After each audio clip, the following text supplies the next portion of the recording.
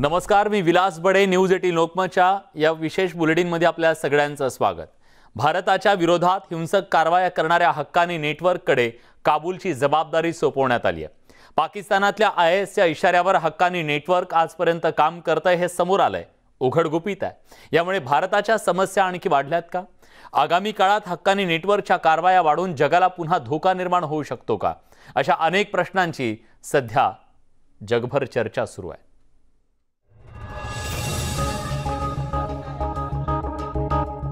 हक्कानी नेटवर्कच्या तालिबानांनी काबूल शहरावर संपूर्ण नियंत्रण मिळवलंय. हक्कानी नेटवर्कचे सहा हजार तालिबानी शहर नियंत्रित करत आहेत. खलील हक्कानीकडे काबूलची जबाबदारी सोपवण्यात आली आहे. अनस हक्कानीच्या नेतृत्वात काबूल शहर ताब्यात घेण्यात आलं. अमेरिकेनं सैन्य माघारी बोलवल्यानंतर हक्कानी नेटवर्क सक्रिय झालं. अमेरिकेनं दहशतवादी घोषित केलेला खलील हक्कानी आता उजळ माथ्यानं काबूलमध्ये वावरतोय. शुक्रवारच्या नमाजमध्येही तो सहभागी झाला होता. हक्कानी कुटुंबातल्या अनेकांवर आता तालिबानी राजवटीत वेगवेगळी जबाबदारी देण्यात आली आहे. हक्कानी नेटवर्कनं याआधी जगभरात अनेक हिंसक कारवाया केल्या आहेत. जगभरात अनेक अमेरिकन दूतावासावर हक्कानी नेटवर्कनं हल्ले घडवून आणलेत. अनेक अमेरिकन नागरिकांचं अपहरणही त्यांच्याकडून करण्यात आलं. हक्कानी नेटवर्कचा भारतालाही मोठा धोका आहे. सात जुलै दोन हजार आठ रोजी भारताच्या काबूलमधील दूतावासावर हल्ला करण्यात आला. भरधाव कारनं दूतावासाच्या गेटला धडक दिली होती. त्यानंतर झालेल्या स्फोटात अठ्ठावन्न जण ठार झाले होते. त्यामध्ये सहा भारतीयांचा समावेश होता. हक्कानी नेटवर्कनं हा हल्ला घडवून आणला होता. हक्कानी नेटवर्कचे अल कायदा सोबत संबंध आहेत तसंच पाकिस्तानच्या आय एस आय सोबतही हक्कानी नेटवर्कचे संबंध आहेत हल्लेखोरांच्या हातीच आता काबूलच्या संरक्षणाची जबाबदारी देण्यात आली आहे. त्यामुळं तिथले सामान्य नागरिक आता किती सुरक्षित राहतील हा सवाल या निमित्तानं जगभरातून विचारला जातोय. Bureau report News Eighteen Lokmat. या सगळ्याबद्दल बोलण्यासाठी आता आपल्यासोबत आहेत निवृत्त lieutenant general doctor Rajendra Nimbhorkar sir. Nimbhorkar sir स्वागत आहे तुमचं न्यूज एटीन लोकमतमध्ये. स्वाभाविक आहे ज्यांनी आतापर्यंत बंदुकीच्या नळीच्या जोरावर दहशत माजवली त्यांच्या हातात आज काबूलची सत्ता गेली आहे. काबूलच्या सुरक्षेची जबाबदारी त्यांच्यावर सोपवलेली आहे. या सगळ्याचा काय परिणाम होऊ शकतो याकडे तुम्ही कसं पाहताय? सगळ्यात पहिले बघायचं म्हटलं म्हणजे तालिबानमध्ये बरेचसे फॅक्शन्स आहेत. हा. आणि त्यांचा मुख्य फॅक्शन जे हक्कानी नेटवर्क आता तुम्ही सांगितलंय त्याला काबूलची जबाबदारी दिली आहे. आणि हक्कानी नेटवर्क हा आय एस आय स्पॉन्सर्ड आहे पूर्ण पाकिस्तान स्पॉन्सर्ड बर. तर त्यामुळे त्याला का काबूलची जबाबदारी दिली तर अ, ते जाहीर आहे की ते जनरली पाकिस्तानच्या इशाऱ्यावरच नाचतील. बर. पण यामध्ये अजून बाकी तीन जे चार मोठे मुल्ला आहेत हा. जहान याकूब बरादर यांनाही तेवढीच पॉवर हंग्रीनेस आहे. बर. तर त्यामुळे कदाचित असं वाटतं की त्यांना दुय्यम दर्जा मिळाला का? पण मागचे वीस वर्ष ते जिहाद त्यांच्या म्हणण्याप्रमाणे करत आहे. तर ते कुठे ना एकत्र आले कुठे ना कुठे कमी जास्त ते ऍडजस्ट करत राहिले. हा. आता काय अफगाणिस्तानमध्ये यांची स्थिती असते की सगळे वॉरलॉर्ड्स आपल्या ट्राईब त्यांच्यावरच त्यांची पूर्ण भिस्त असते. हा हा हा. तर जेव्हा त्यांच्या हातात पॉवर आली तर आता माहिती होईल की कुठपर्यंत ते राहतील. नाईन्टीन नाईन्टी सिक्स आणि दोन हजार एक पर्यंत जेव्हा होतं हा. तेव्हा कसे तरी ते राहिले. हा. कारण की त्याची पॉवर जी झाली पूर्ण कन्सॉलिडेट झाली नाही आणि लगेच अमेरिकेने त्यांचा हल्ला केला. आता असं आहे की ते म्हणतात दालिबान टू येणार ते एक सारखं नाहीये. एक सारखं नाही नुसतं जर तुम्हाला सत्ताच पाहिजे असली तर मग जी सत्ता गेली त्यामध्ये काय वाईट होतं? हा हा हा. ते मुस्लिमच होते हेही मुस्लिम आहे. फक्त यामध्ये असं आहे त्यांना शरिया लावायचं आहे. हा. हे जगासाठी खूप घातक आहे. आणि जर शरिया लावायचं आणि सगळं हाच रूल करायचा इस्लामिक खलिफेट तुम्हाला करायचा आहे तर नक्कीच आहे की जो सामान्य नागरिक जो आतापर्यंत राहत होता जे शरियाप्रमाणे राहत नव्हता त्यांना बरेचसे प्रॉब्लेम येतील. त्यामुळे कोणी म्हणेल की नाही तालिबान दोन हे वेगळं राहील. बदललेला असेल वगैरे. बदललेला असेल वरून वर असेल पण त्यांचं जे मेन आहे हा. ते तालिबान एकसारखंच आहे. बरोबर. आयडियोलॉजी एक आहे. हम्म. आयडियोलॉजी एकच आहे आणि त्यामुळे जसं मी सांगितलं की मग मागच्या अफगाण गव्हर्नमेंटमध्ये काय वाईट होतं? हा हा. सगळे खुशच होते. जेवढे लोक आहेत तेवढे खुश होते. तर मग आता त्यांना फक्त सत्ता पाहिजे आणि आपल्याप्रमाणे जे मुलांना जे करायचं आहे जसं. राज्य करायचं तसं ते राज्य करतील. बर. पण सर तर प्रश्न हा सुद्धा आहे की हे हक्कानी नेटवर्क नेमकं काय आहे? कारण जेव्हा जेव्हा अफगाणिस्तानबद्दल बोललं जातं जगभरात तेव्हा हक्कानी नेटवर्कचं नाव सातत्यानं समोर येतं. आज तर त्यांना इतकी शक्ती दिलेली आहे. हे काय आहे हक्कानी नेटवर्क? हक्कानी नेटवर्क जसे एक हक्कानी ट्रायबल्स आहेत. आणि जसं मी सांगितलं की हे कम्प्लिटली पाकिस्तानने कंट्रोल केलेलं आहे. बरं. आणि त्यामध्ये त्यांचे जे इंटेलिजन्स नेटवर्क जे मेनली आय एस आयचं आहे त्यांची ऑर्गनायझेशन कॅपेबिलिटी त्यांची ट्रेनिंग हे सगळं यांनी बघितलं आणि त्यामुळे हक्कानी नेटवर्क हे एक पॉवरफुल फॅक्शन आहे. तालिबानच्या तर त्यामुळे जे तसं आज हे बघायला मिळालं की त्यांना काबूलची जिम्मेदारी दिली की त्यांनी मागितलीच असेल. कारण की जो काबूल कंट्रोल करतो तो जनरली अफगाणिस्तान अफगाणिस्तान कंट्रोल करतो. तर त्यामुळे हक्कानी नेटवर्क आहे हे खूप इम्पॉर्टंट नेटवर्क आहे. आणि हे जे माझ्या माहितीप्रमाणे आणि मी जेवढं अनालाइज केलं हे सगळं पाकिस्तान बॅक्ट आहे. त्यामुळे याच्यापासून म्हटलं तर भारताला पण धोका आहे. आता काही जणांनी मला विचारलं होतं की भारताने आपलं दूतावास सोडायला पाहिजे. होतं का? हे या दोन्ही बाजू आहेत त्यामध्ये येस ऑर नो जर आता तालिबानच्या हातात गेलं तर नक्कीच भारतांना भारतीय आपल्या अगेन्स्ट झाले असते. त्यामुळे तालिबान सोड अफगाणिस्तान सोडणं हे माझ्या मते ठीकच आहे. हा. पण जर आपण दूरगामी त्याचे परिणाम बघितले आपल्याला काय करायला पाहिजे तर मला असं वाटतं की थोडं स्केलिटन स्टाफ आणि काही स्केलिटन लोक ठेवले असते तर पुढे आपल्याला ते ऍक्टिव्हेट करायला किंवा त्या लोकांना तिथल्या लोकांना विजा वगैरे द्यायला मदत झाली असती. सर पण मला एक एक प्रश्न आहे. खरं तर तुमच्या याच्यातच ते दडलंय. आता अफगाणिस्तानमध्ये या आधी जेव्हा तिथलं सरकार होतं त्या काळात सुद्धा याच हक्कानी नेटवर्कनं भारताच्या दूतावासाला असेल किंवा आपले जे तिथं काम सुरू होते वेगवेगळी कामं सुरू होती त्या सगळ्यांना टार्गेट करण्याचा प्रयत्न केला. त्याच्यावरती हल्ले चढवले. याचा अर्थ आता ते जर तिथं सत्तेत पोहोचलेले असतील तर भारतासाठी हा एक मोठा धोका निर्माण झालाय? नक्कीच. तुम्ही बरोबर मी म्हटलं नब्ज पकडली आहे. कारण की भारतासाठी हक्कानी नेटवर्क कधीच फॉर राहणार नाही. ते नेहमीच आपल्या अगेन्स्ट राहील. आणि बरेचसे आपण रोड दोन मेन रोड डोलाराम आणि एक जरांज हायवे बांधला. आहे. तर इराणच्या कडेला.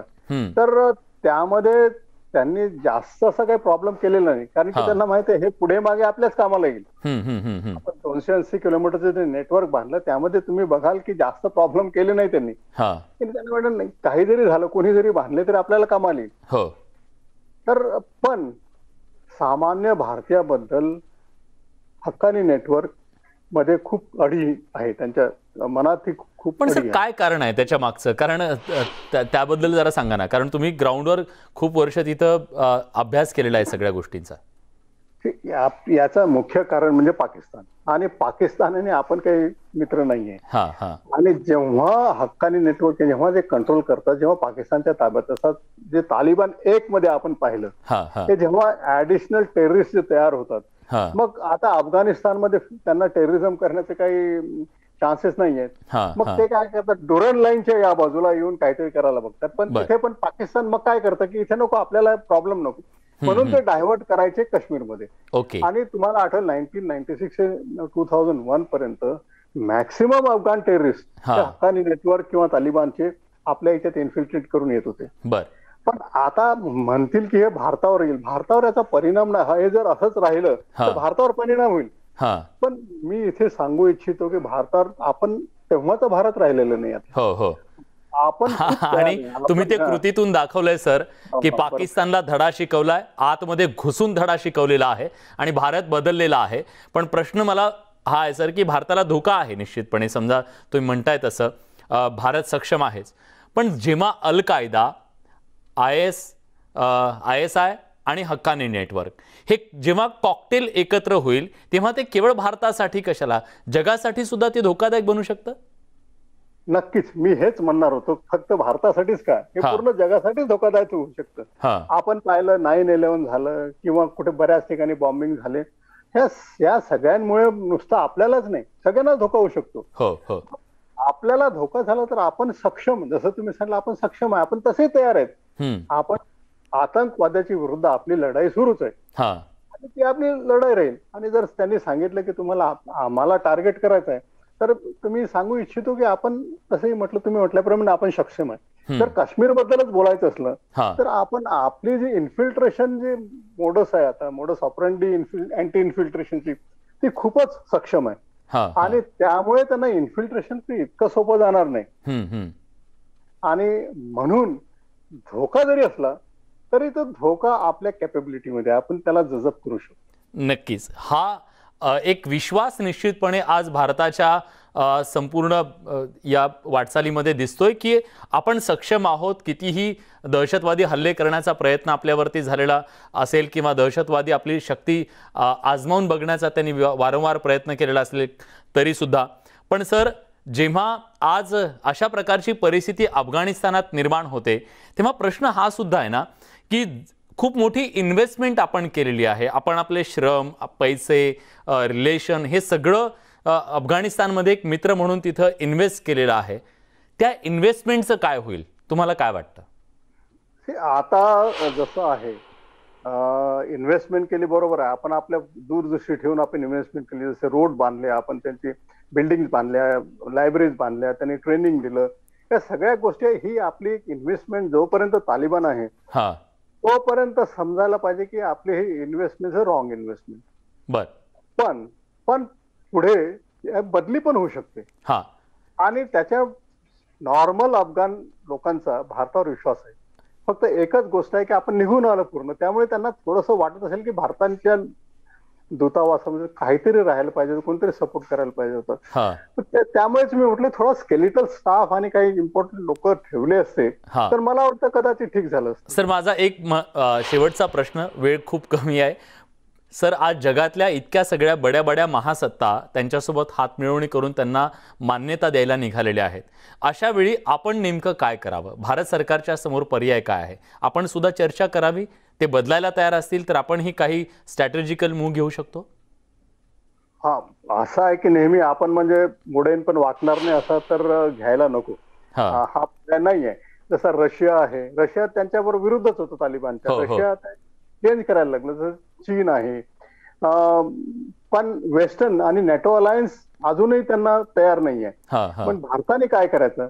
मला वाटतं एक आहे की वेट अँड वॉच पण जर तालिबान बदलत असले असेल आणि आपल्यावर नॉर्मल रिलेशन तयार होत असेल तर मला वाटतं काही हरकत नाही. पण ही जी ही जी ऑप्शन आहे हां. मला नाही वाटत शक्य होईल. कारण की हे आलेच अशा बरोबर आहे. कारण पाकिस्तान ते होऊ पण देणार नाही. हाही त्याच्यामधला महत्त्वाचा भाग आहे. कारण पाकिस्ताननं जर ते होऊ दिलं तर मग पाकिस्तान आतापर्यंत त्यांना पोषण्यात मजा काय? हा सुद्धा त्याच्यातला महत्त्वाचा भाग आहे. निमोरकर सर अगदी खडानं खडा तुम्हाला अफगाणिस्तानमधल्या सगळ्या परिस्थितीची माहिती आहे. आणि आज तुम्ही या संपूर्ण आंतरराष्ट्रीय विषयावरती न्यूज एटीन लोकमतशी अगदी सविस्तरपणे बोललात सगळी माहिती सांगितली. त्याबद्दल न्यूज एटीन लोकमतच्या वतीनं मी आपले मनापासून आभार व्यक्त करतो. वेळात वेळ देऊन तुम्ही आलात त्याबद्दल. या आपण बघतोय ही सगळी परिस्थिती निर्माण झालेली आहे अफगाणिस्तानमध्ये आणि काबूलमध्ये. आज एक बातमी आली काबूलमधून की दीडशे भारतीयांचं अपहरण झालं. सगळ्यांच्या पोटात गोळा आला कारण आता त्यांचं काय होणार हा प्रश्नही पडला. धडकी भरली काळजाचा ठोका चुकला. जगभरात अपहरणाची बातमी पसरल्यानंतर अखेर तालिबान्यांनी पत्रकार परिषद घेऊन भारतीय नागरिकांचं अपहरण केलं नसल्याचा दावा केला. तर त्यावेळी काबूल विमानतळावर काय नेमकं झालं होतं? ही बातमी का अशी पसरली? पाहूया त्या संदर्भातला हा खास रिपोर्ट. तालिबान्यांकडून दीडशे भारतीयांचं अपहरण?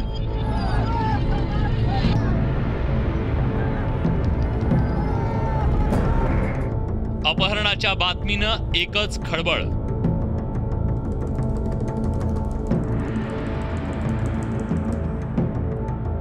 श्वास रोखणाऱ्या बातमीनंतर सुटकेचा निश्वास.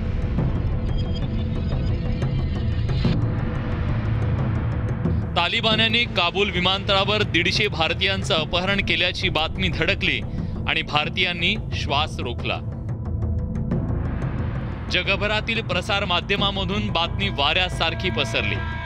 त्यानंतर भारत आणि जगाकडून तालिबान्यांवर कारवाई होण्याची शक्यता निर्माण झाली. तालिबान्यांना नेमकं काय करायचंय हे काही स्पष्ट होत नव्हतं.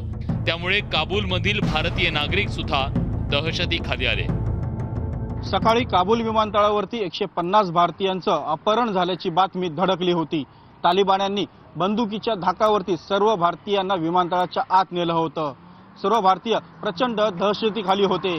काय चाललंय हेच या सर्व भारतीयांना कळत नव्हतं. त्यामुळे ते प्रचंड चिंताग्रस्त देखील झाले होते. जगात तालिबान्यांकडून भारतीयांचं अपहरण केल्याची बातमी वाऱ्यासारखी पसरली. जगातलं शक्तिशाली राष्ट्र विरोधात जाईल या भीतीनं अखेर तालिबान्यांना भारतीय लोकांचं अपहरण केलं नसल्याचं स्पष्ट करावं लागलं. विमानतळावर भारतीयांच्या कागदपत्राची तपासणी करण्यासाठी त्यांना विमानतळावर नेल्याचं तालिबान्यांकडून स्पष्ट करण्यात आलं. त्यामुळे भारतानं सुटकेचा निश्वास सोडला. मात्र काही तासानंतर तालिबान्यांकडनं असं कोणतंही अपहरण झालं नसल्याची माहिती समोर आली. तालिबानकडनं अधिकृतरित्या पत्रकार परिषद घेऊन तसं स्पष्टीकरणही देण्यात आलेलं आहे. भारतीयांच्या कागदपत्रांची पडताळणी करण्यासाठी त्यांना तात्काळ विमानतळाच्या आत नेलं होतं असं तालिबान्यांकडनं सांगण्यात आलेलं आहे. त्यानंतर आता अनेक भारतीय जे आहेत ते भारताच्या दिशेने रवाना झालेले आहेत. दीडशे भारतीयांपैकी बहुतांश भारतीय आता काबूलमधून भारताच्या दिशेनं निघालेत. पुढील काही तासात ते भारतात दाखल होण्याची शक्यता आहे. मात्र असं असलं तरी अजूनही अफगाणिस्तानमध्ये अनेक भारतीय अडकून पडलेत.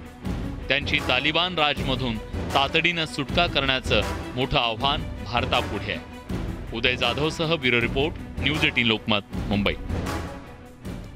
यासोबत बुलेटिनमध्ये एक छोटासा ब्रेक. कुठे जाऊ नका पहा फक्त न्यूज एटीन लोकमत. ब्रेकनंतर तुमचं पुन्हा एकदा स्वागत. केंद्रीय मंत्री नारायण राणे पुन्हा एकदा शिवसेनेवर बरसलेत. एकनाथ शिंदेंची शिवसेनेत घुसमट होत असून त्यांना मातोश्रीला विचारल्याशिवाय एकाही फाईलवर सही करता येत नाही असा गंभीर आरोप राणेंनी केलाय. तसंच नीलम गोरे यांना आपणच शिवसेनेत आणलं होतं. त्यांच्या आमदारकीसाठी सुद्धा आपणच प्रयत्न केल्याचं राणे म्हणाले. सध्या गोरेंनी त्यांची पक्षात होणारी फरफट पाहावी असा टोला त्यांनी लगावलाय. यावेळी त्यांनी बाळासाहेबांच्या स्मृतीस्थळावरून मुख्यमंत्री उद्धव ठाकरे यांच्यावर टीकास्त्र सोडले एकनाथ शिंदे जर नगरविकास जरी मंत्री असले तर ते ते सही पुरते आहेत. बाकी सगळ्यांना ते एक चिरंजीव मंत्री आहेत. त्यांच्याकडे आणि दुसरं नाव घेत नाही तर राजकारणाचे नाही. मातोश्री शिवाय काही फाईल युडीची सही करू शकत नाही आमचे एकनाथ शिंदे. त्यामुळे बिचारे कंटाळले आहेत. असं म्हणजे अडचणीत सापडल्यासारखं आहे. मार्ग शोधतायत. एका दिवशी फोन करेन मी मार्ग दाखवेन. माझी फरफट नाही. तुम्ही किती फरफटताय बघा शिवसेनेत. हा अजून वर्णित लागत नाही. मी त्याला शिवसेनेत ठेवलं होतं. नव्हत्या. मी आणलं होतं. आणि आमदारकी द्यायला लावली होती साहेबांकडून. पण आता त्यानंतर भरपूर प्रयत्न केले. मंत्री का होत नाही. आता माझ्यावर टीका करावं ना. मंत्रीपद मिळेल. शुभेच्छा. मी जेवढी समाजसेवा आणि जेवढं जनतेसाठी केलं एक दशांश तरी ज्या शिवसेनेच्या पक्षाचे कोण प्रमुख आहेत ना त्यांनी करून दाखवावं. माझ्या वडिलांचं किंवा ज्या मंडळीचं स्मारक उभारायचं मी ठरवलं माझ्या पैशातून केलं सरकारच्या पैशाने नाही. आणि देखणं केलं दलदलीत नाही ठेवलं कोणा याच सगळ्या घडामोडींसोबत या बुलेटिनमध्ये आपण इथेच थांबतोय. ताज्या घडामोडींसाठी बघत रहा न्यूज एटीन लोकमत.